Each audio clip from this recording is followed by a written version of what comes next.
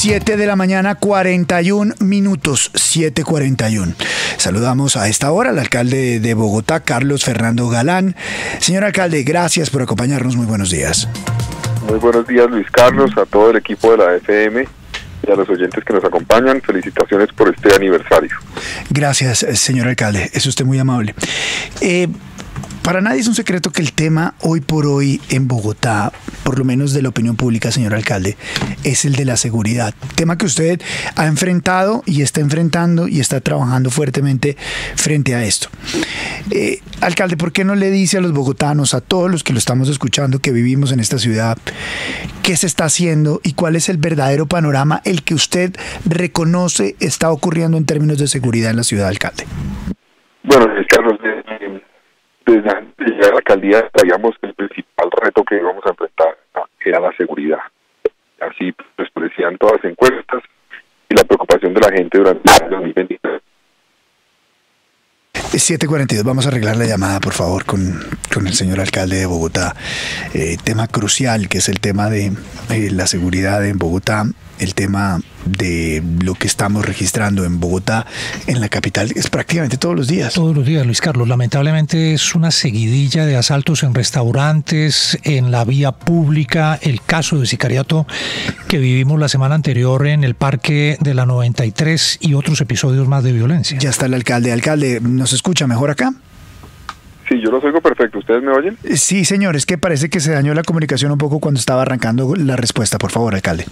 Bueno, perdón, Luis Carlos. Mire, yo le decía que eh, desde, desde antes de llegar a la alcaldía sabía que el reto de la seguridad iba a ser el principal. La ciudadanía así no lo manifestó durante el año 2023 y por eso inmediatamente fue designado el nuevo comandante de la Policía de Bogotá.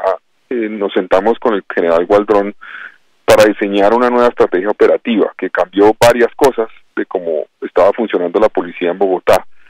Replanteamos eh, la operación en términos de cuadrantes, en horarios, en zonas, trabajamos para crear unos grupos de reacción inmediata, eh, creamos figuras como, como el grupo Arcángel, diferentes herramientas distintas eh, de acciones para poder enfrentar el reto que teníamos en seguridad. Eso ha producido algunos resultados. Eh, si uno se rige por las cifras oficiales de CIETCO, que es el sistema de la policía, ha habido una reducción de homicidios de un 13% en lo que va corrido del año comparado con el mismo periodo del año pasado.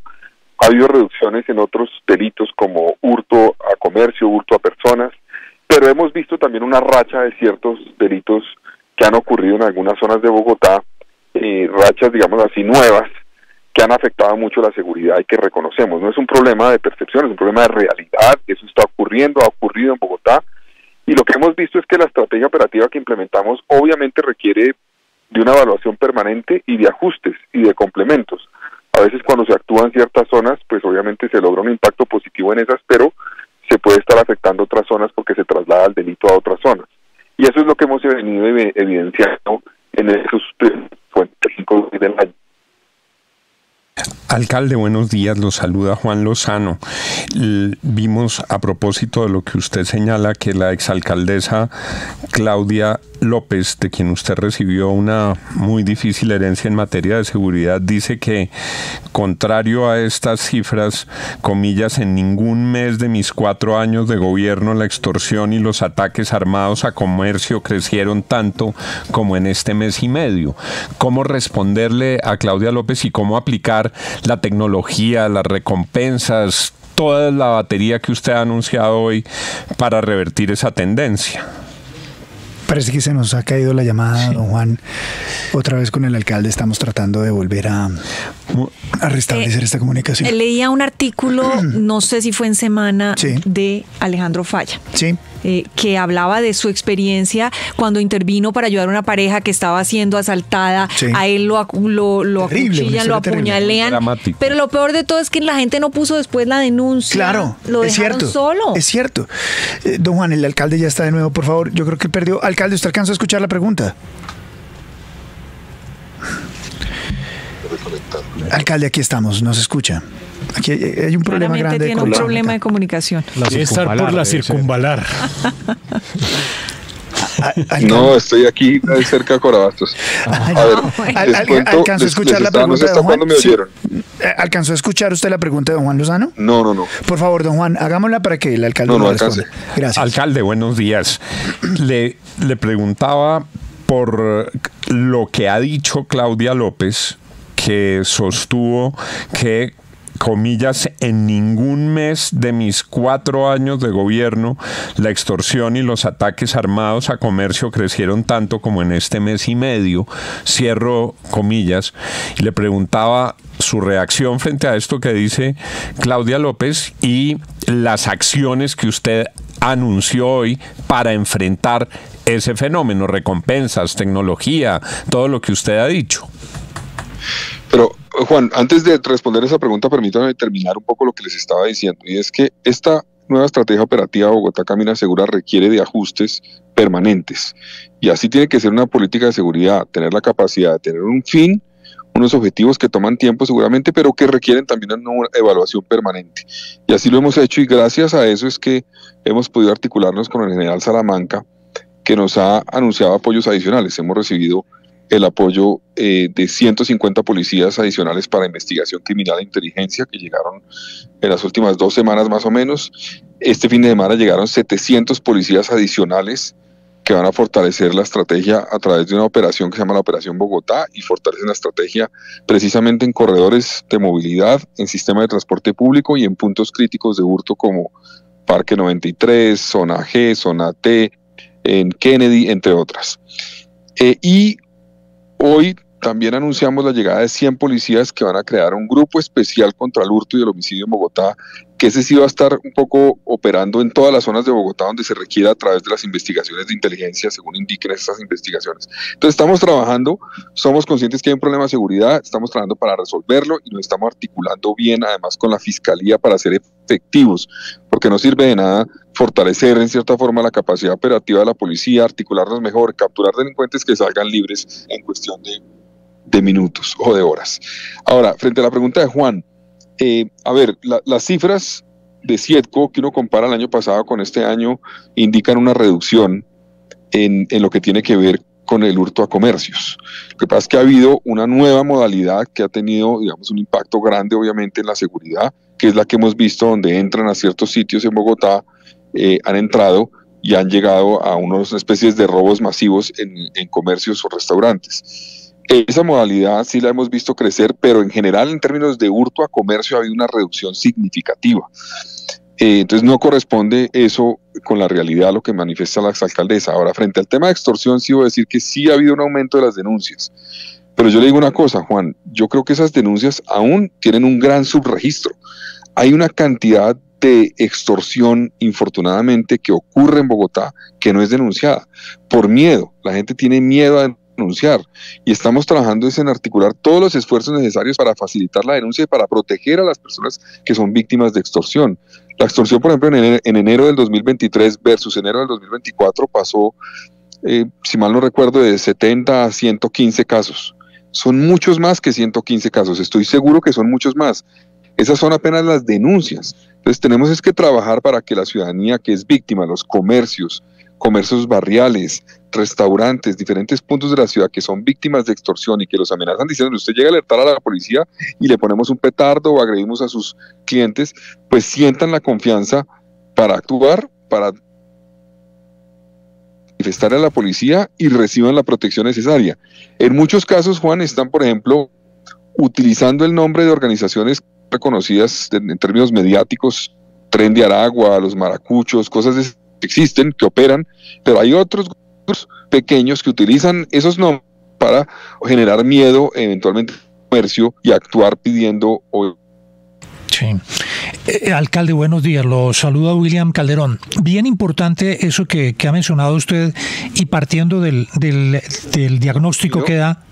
alcalde, ¿nos escucha? Alcalde. No, la, la, comunicación ¿Sí me escuchan? Es, muy mala. Sí, lo, lo, escuchamos. De ¿Sí me escuchan? Eh, sí, ¿usted nos escucha, alcalde? Sí, no, sí, no, les terminaba diciendo, en enero logramos 19 casos de extorsión judicializados en flagrancia y eso ayudó mucho. Tenemos ah. que multiplicar eso porque hay mucha extorsión que hoy no está siendo denunciada. ¿Alcalde? No, es que, es que yo creo que el alcalde está en un sitio. Está en un sitio donde no nos oye muy bien. Lo mínimo es garantía de comunicación. se, le, se, le, va la señal alcalde. Ahí nos escucha. Intentemos esta última pregunta, William, porque eh, no yo quiero los escucho que, perfecto. que la audiencia y con el, con, el mayor respeto y, al alcalde hay que invitarlo a que, a que pase una mañana con nosotros acá. Por lo sí, sería, sería lo ideal. Alcalde, puntual. lo lamento mucho y ofrezco excusas al alcalde y a la, y a la audiencia, ni más faltaba. Sí. Alcalde, puntualmente, eh, necesitamos más pie de fuerza en Bogotá. Ya eh, decía usted que cuenta con el apoyo de la Policía Nacional con más hombres, pero ¿es insuficiente eso? ¿Qué le parecería, por ejemplo, las propuestas que se han hecho de que reservistas o personal que está en oficinas hoy invadiera las calles de Bogotá para dar eh, presencia, vigilancia en las calles de, la ciudad? Eh, bueno, parte del esfuerzo de los 700 hombres viene precisamente de personal de las diferentes direcciones y escuelas de la policía que nos va a apoyar. Eh, y eso es indefinido, mientras que entra el famoso Plan 20.000 que ustedes tal vez conocen de la incorporación de 20.000 nuevos policías a la Policía Nacional durante este año y un número importante de esos 20.000 va a venir para Bogotá. Entonces, si necesitamos más pie de fuerza, sin lugar a dudas, se requiere más es bueno lo que ha llegado, necesitamos que llegue mucho más, que se concrete eso del plan 20.000 para Bogotá, pero además le, le menciona a William un tema adicional, y es que vamos a trabajar para que en el plan de desarrollo quede incorporada una propuesta que permita que Bogotá, con recursos propios, pueda financiar, ya no como ocurrió en el pasado, sino también eh, el funcionamiento, digamos, el gasto recurrente, es poder incorporar pie de fuerza que sea pagado por Bogotá. Eh, alcalde. No, ya sé. No, pero, pero es que tengo una, última pregunta. tengo una última pregunta. ¿Sí? Sí, tengo una última pregunta. Esperemos a ver, que él va a volver, él va a volver. Lo que le entendí es pie de fuerza pagado por Bogotá. Sí, no, él va a volver, alcalde. Pero a la Policía Nacional. Es que tengo, ¿sabe cuál es la pregunta que tengo? ¿Cuál es su proveedor de servicio celular?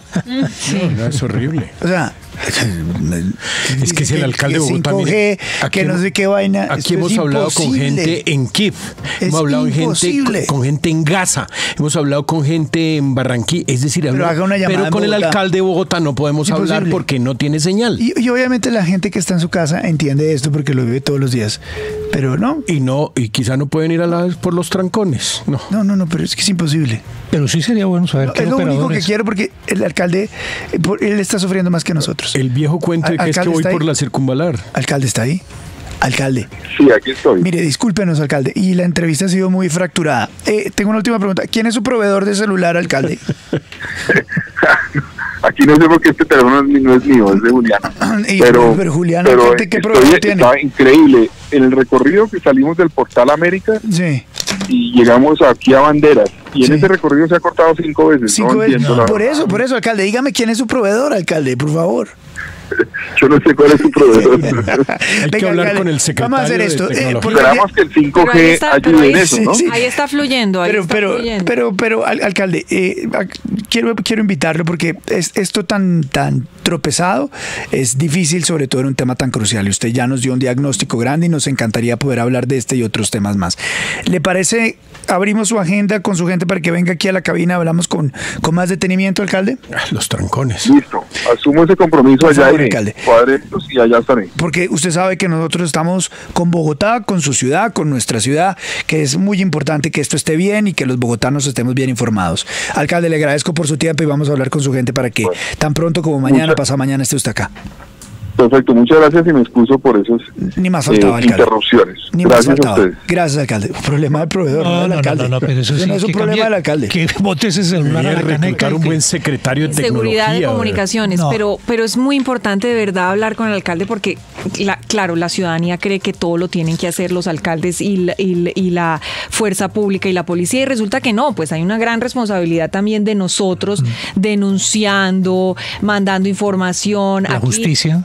Eh, la justicia, es que la impunidad en este país es una cosa rampante como todas las personas los cogen y a las dos horas están afuera, no pasa absolutamente nada. 756, esto es la FM de RCN, las noticias como son.